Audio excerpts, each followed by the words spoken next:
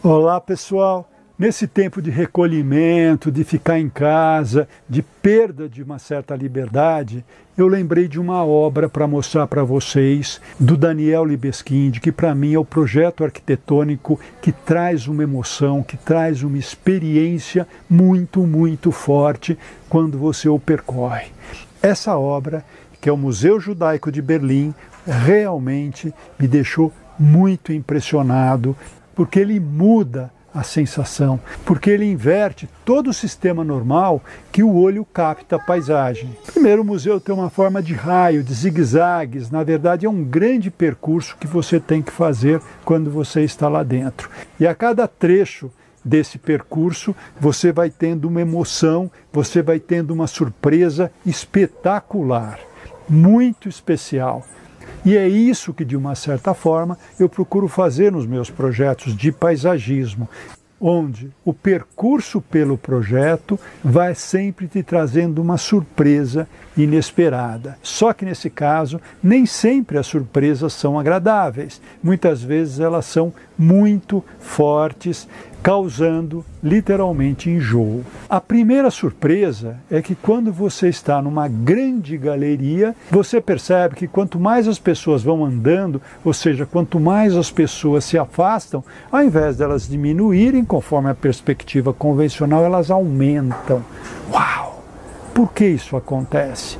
Isso acontece porque ele realmente faz esses corredores meio cônicos, de forma que a nossa percepção é sempre em relação do indivíduo com o seu entorno. E normalmente nesses corredores nós temos paredes paralelas, teto e chão também paralelos. Nesse caso, eles não são paralelos.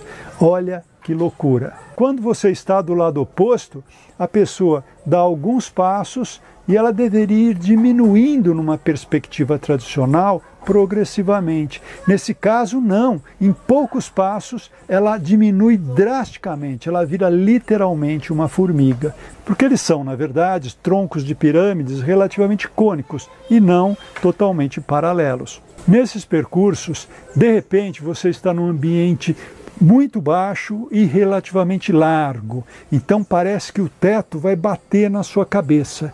Você continua e aí você se encontra num lugar relativamente estreito e muito alto. Quando o teto é muito baixo, você parece um gigante que você está batendo a cabeça no teto. E de repente você tem aquele teto altíssimo e você parece uma formiga, você parece um nada. Essa relação toda é proposital. Como isso é um museu, esses espaços também interagem com obras de artes. Então, você pode encontrar, por exemplo, num corredor, máscaras feitas de metal e você vai pisando nessas cabeças, nessas caras, dando ainda mais essa sensação do dominante, do dominado, essa sensação de você pisar em cima de outras pessoas. Realmente são emoções muito fortes. E todas essas emoções não são por acaso. Aqui, o Daniel Libeskind quis mostrar que num campo de concentração, por exemplo, os valores, as sensações, elas mudam totalmente. Quando de repente toda uma população é submetida a castigos, a perda da liberdade, a perda de todas as dignidades humanas. Isso fica ainda mais forte quando você sai do prédio e chega num jardim. Esse jardim, ele tem colunas e todas as colunas são inclinadas com vegetação em cima. Então você passa por corredores cujo chão também tem leves formas de pirâmides. Então, uma hora você sobe, outra hora você desce. Os muros laterais também não estão na horizontal, eles estão inclinados, de forma que você vai andando e realmente você tem muito enjoo. E nesse local você perde então todas as referências normais, humanas, e passa a ter sensações completamente diferentes, descontroladas. É isso que o Libeskind quer passar para a gente e ele consegue de forma magistral.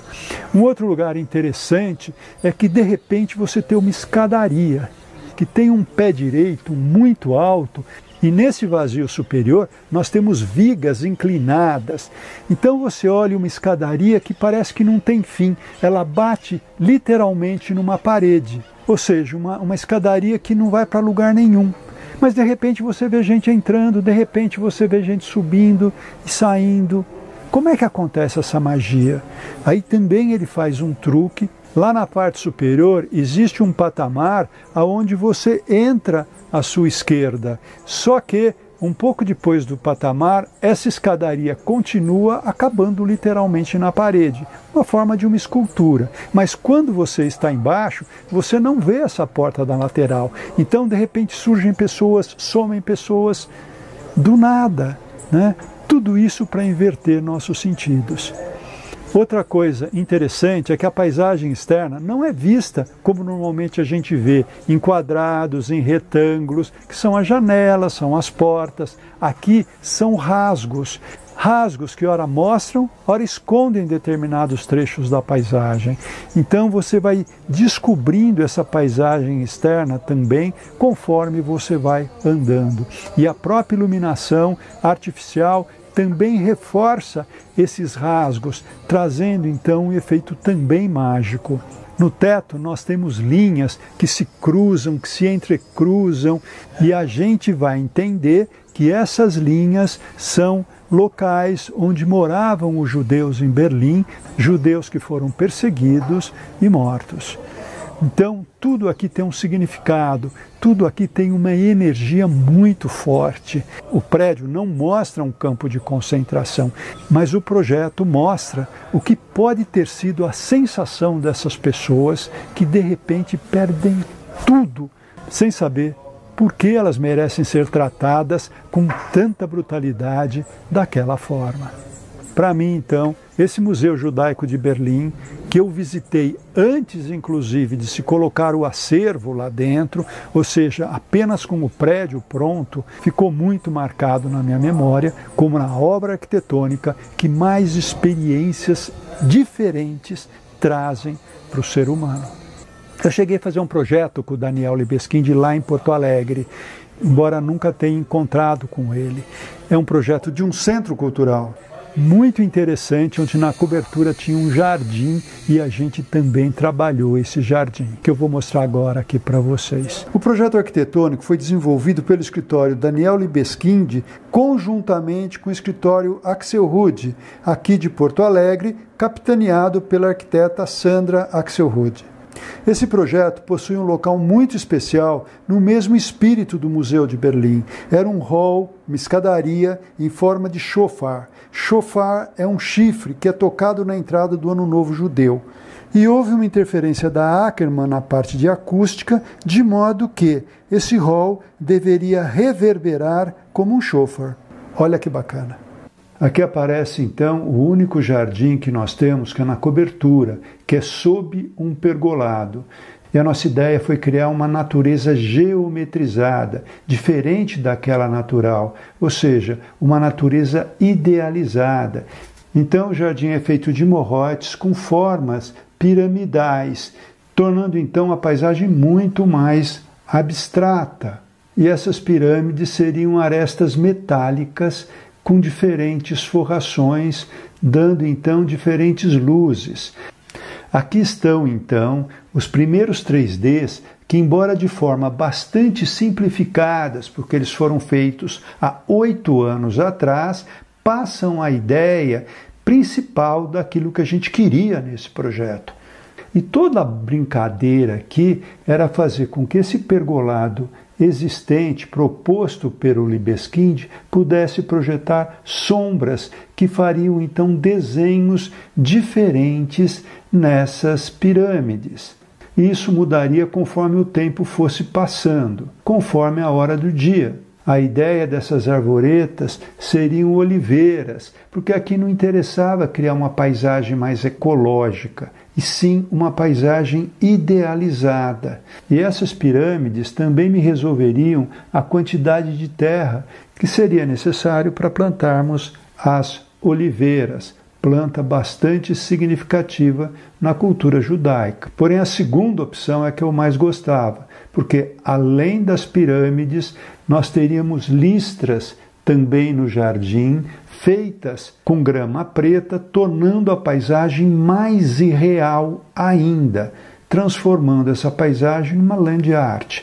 E as sombras poderiam brincar de forma ainda mais interessante, fazendo com que essas sombras entrecruzassem essas linhas nas diferentes horas do dia, tornando essa paisagem como se fosse uma terra dos sonhos, uma terra idealizada e não uma paisagem real. Aqui estavam as plantas que a gente iria usar: o jaburã claro e o jaburã escuro, criando então superfícies de tonalidades diferentes. Pensávamos usar também a grama amendoim e a grama esmeralda para darmos texturas diferenciadas nas faces das pirâmides.